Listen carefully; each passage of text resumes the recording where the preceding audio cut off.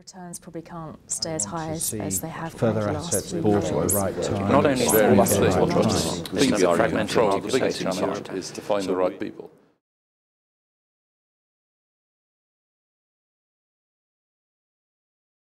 UK investors have maintained their property holdings as share prices have tumbled around the world.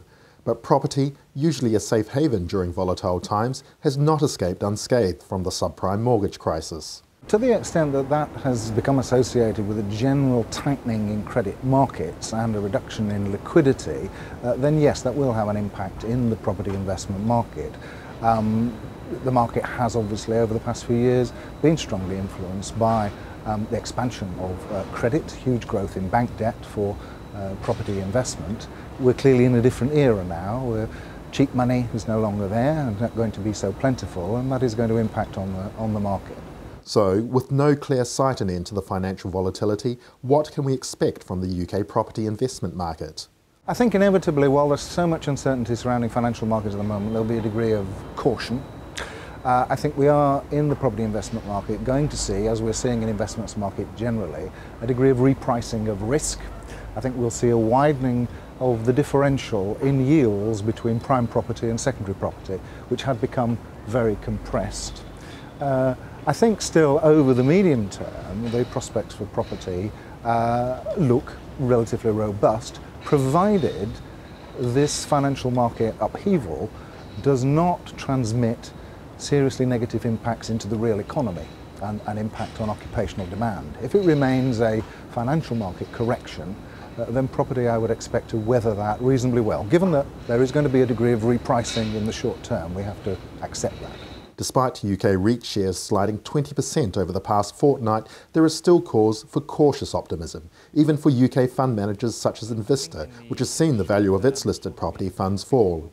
What we'll see and what we're expecting to see is that capital will, will, will move out of the riskier assets. It's already happening. Capital is moving away from emerging market bonds and equities. It will move into perceived less risky assets. And I think property fits quite nicely into that, into that bracket. Um, there's plenty of research to show uh, that in the UK and in continental Europe that historically property has delivered good risk-adjusted returns. Um, and we're expecting capital to increasingly target property, um, you know, given that the strong risk-adjusted returns that, that it offers and, and the perception that it's a less risky asset. It is that perception that the industry is hoping will see it through the turmoil, says Jones Lang LaSalle's Tony Horrell. One of the reasons that people buy into the real estate sector is for the fundamentals of real estate. You know, rental growth, uh, a good high level of income return, etc. All of those things are today better than they've been for the last two years. So it just seems to me that you know you can have at, at a macro level quite a lot of worrying, but the fundamentals for real estate still look fairly strong. And I still believe that there is a, a depth of money overhanging the market which will actually continue to drive transaction volumes. The crisis also comes at a time when UK property returns are slowing, prompting British investors to look across the channel for better returns. There will develop some, some, some different uh, effects in different European markets. My own view is we potentially will start to see a two-speed Europe. Um, and if I look at the UK, which of course is the largest market in, in, in Europe, outside of central London, you know, one can perhaps envisage a, a slowdown in activity as you see a, a standoff between owners and purchasers' aspirations. At the same time, for those uh, less leveraged buyers, so you think about the institutions, for example, or the, the German open-ended funds, or indeed the sovereign funds, funds, those people who are not borrowing quite such high leverage, this is a great opportunity to buy. Certainly when you think about the core and the prime end of you know, various markets. And with sustained rental growth in London and in certain markets on the continent expected to remain, it's not quite as gloomy as feared.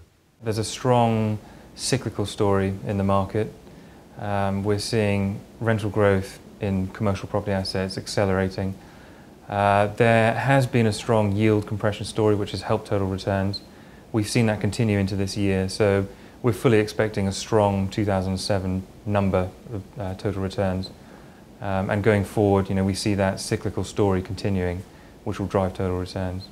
If that holds true, then the current crisis could prove to be more of a blip than a crash for UK property investors. Paul Yandall, EGTV.